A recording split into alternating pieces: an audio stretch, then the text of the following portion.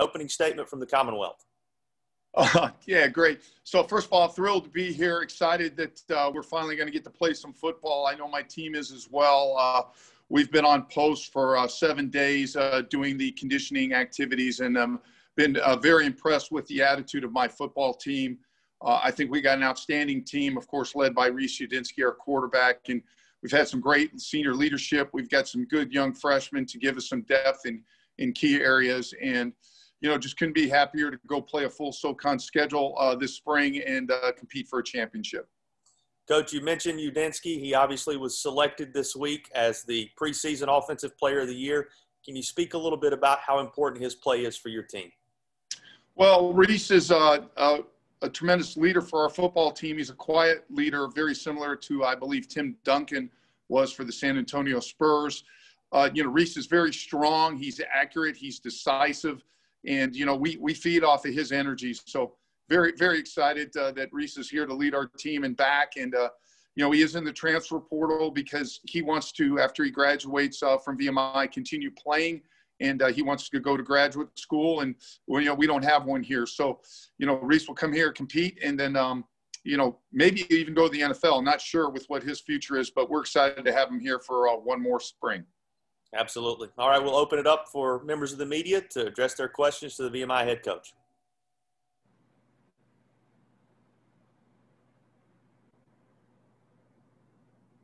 Again, identify yourself and your media outlet as you ask your question to our coaches this morning.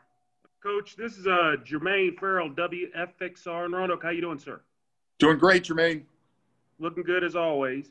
Uh, I guess got to ask you, you know, obviously this is a season unlike any other. How have you guys been overall handling just the switch? Because obviously you guys were supposed to play in the fall, that didn't happen. But now you're playing spring ball, which would probably right by now would be considered a spring season. But just how you overall you guys have been handling this?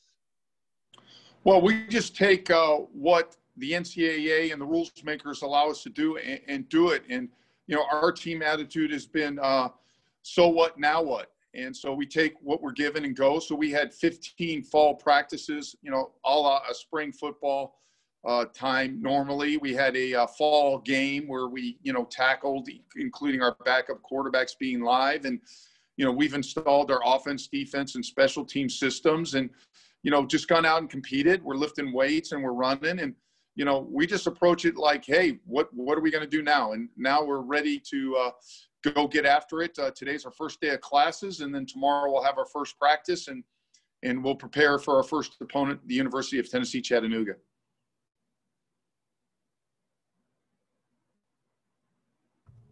Hey, Coach Travis Wells from WDBJ in Roanoke. Good to see you. You mentioned some of the freshmen. Um, is there anyone that kind of stood out in some of those early practices? Anybody that you think can get on the field right away and have an impact?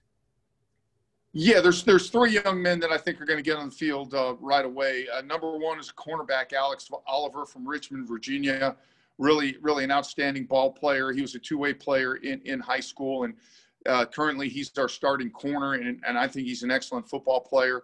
Uh, Aiden Twombly, a tight end from uh, North Carolina, really had a good fall uh, start, and we think he'll be our starting tight end. And then um, Jacob Colbreth, our punter that we signed from uh, Charlottesville, Virginia. Uh, he's going to be our starting punter. Really has a strong leg, and it, it, those three guys should help us immediately uh, on game day on the first time we play. Thank you.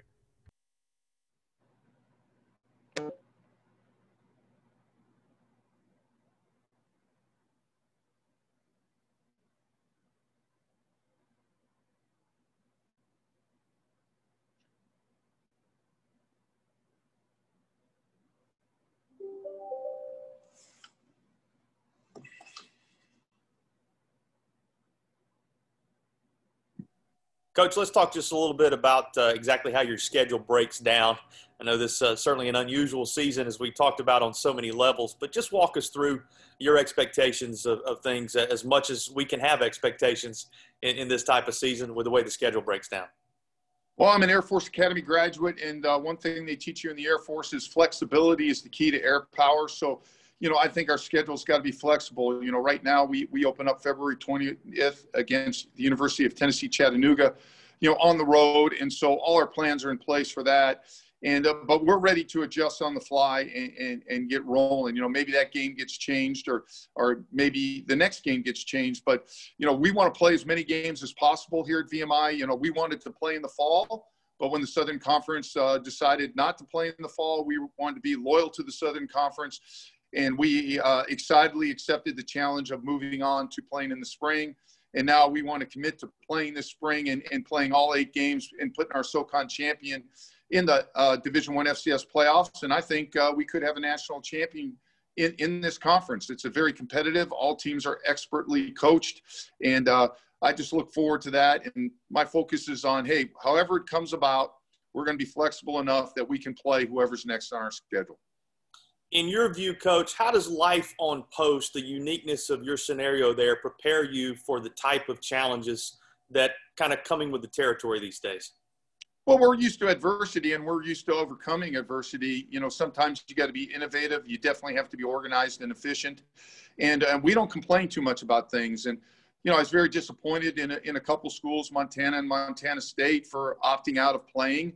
I, I actually emailed those coaches because I, you know, back in August, you knew what the weather was going to be in Montana.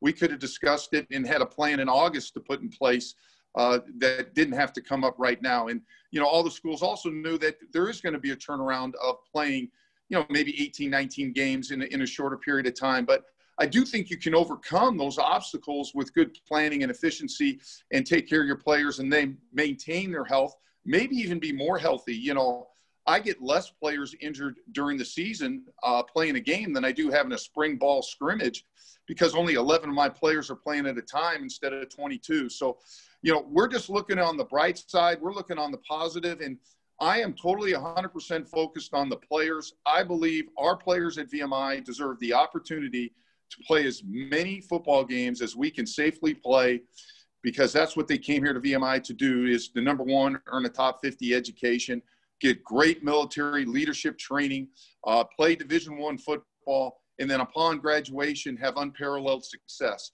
And uh, I just want to provide the part that uh, right now they're not getting, and that's the ability to compete on the gridiron. Give us a, a, coach's perspective on the issues related to depth, coach. You talked about your challenges and, and the way you prepare, but when the uncertainty that exists related to, to the virus and other things, give us a, a coach's perspective and mindset in relation to depth going into this season. Well, depth is always an issue at the Division One FCS level, and you have to get multiple players ready to play. Sometimes multiple positions. So, really, nothing new for us except you added one more variable in the equation, and that's the possibility you lose somebody for sickness. Uh, you, you, could have that. I mean, you could have a kid get really sick with the flu prior to this year and miss a game, but he wouldn't miss seven, 10, 14 days. And so now with COVID, you, you have the possibility of losing a guy for seven, 10, or 14 days. And, you know, you just got to deal with that. And, um, you know, we're just going to try and be smart by who rooms together with whom. And we do a great job of talking about social distancing, wearing a mask, washing your hands. Uh, I feel like I tell people to stay farther away, six feet apart, and wear masks. That's my number one coaching points this year, and uh, for my staff and, and my players. But hey, we're going to do whatever it takes to uh, give these young men an opportunity to compete, and I hope uh, all our fellow, all the fellow coaches and all the people around are committed to doing the same. What, in your mind, is the value of football in times like these, Coach? Well, football is first of all, it's the only sport where you totally are reliant upon your teammates to be successful. You can't win the game with just one person. Where in baseball, a dominant pitcher usually wins. In basketball, you know, LeBron James is always on a championship team for the most part. In football, it takes a whole group of men playing together. You get in a huddle, all from diverse backgrounds, different ages, different social economic upbringings, and you come together as one, and you learn that together everyone accomplishes more it's a game where there truly is grit. You lay it on the line. There, there's definitely brotherhood, and you know I think if you do everything in love, you, your team will get really, really close. And there's just a magic that forms from playing the game. And you know, having played it myself, um, there's nothing better than going out on the field and lying on it, exhausted, victorious. And you know, Vince Lombardi said that, and it is true. Still plenty of time for questions from the media for Coach Wachenheim. Go ahead and feel free to jump in here if you have one for the VMI head coach.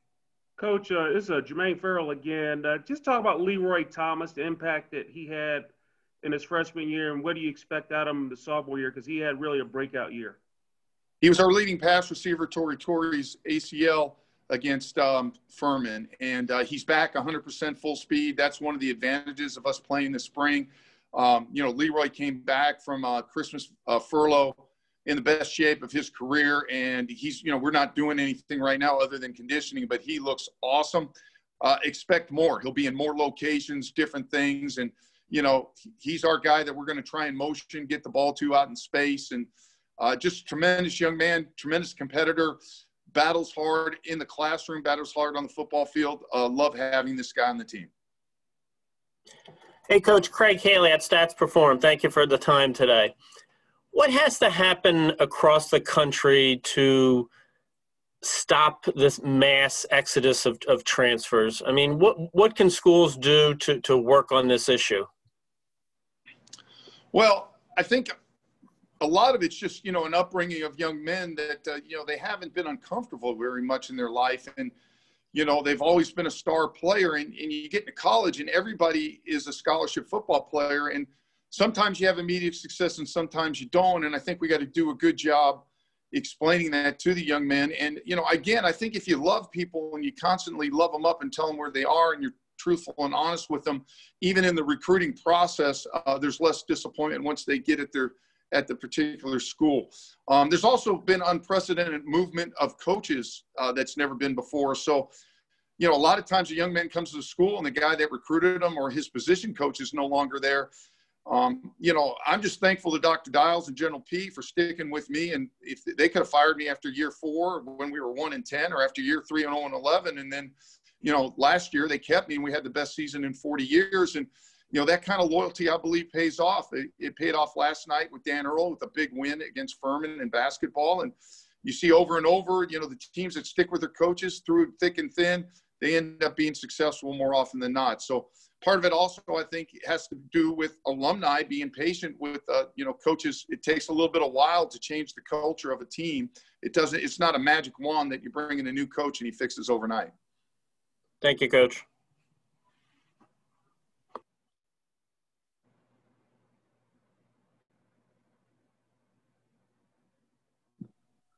Coach, maybe give us one area of emphasis as we close our segment with you.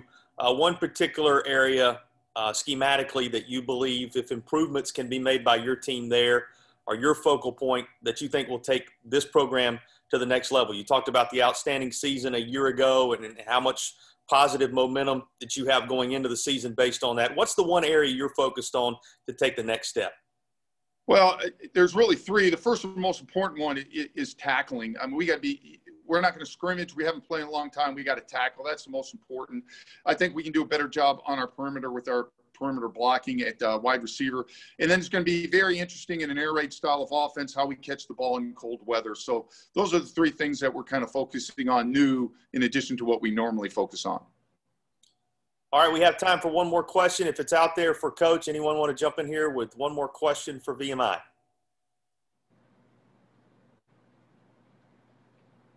Okay, if not, Coach, we thank you so much for your time. We wish you all the best this season and look forward to seeing your team in action once again. Uh, no, it's awesome to be here. Thank you so much for all you do and uh, looking forward to it. Yes, sir. All the best. Thank you again. Thank you, sir.